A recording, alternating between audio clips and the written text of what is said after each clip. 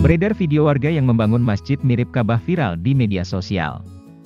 Video tersebut diunggah oleh akun Instagram Terang Media memperlihatkan sedang ada pembangun masjid.